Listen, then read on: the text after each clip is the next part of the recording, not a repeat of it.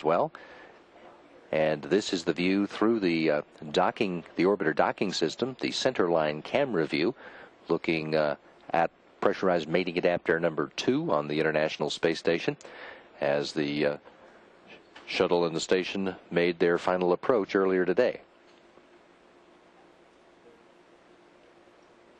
A bit earlier, we did see a replay of the uh, activity on Atlantis' flight deck during the final stages of docking, and we will be replaying that uh, shortly.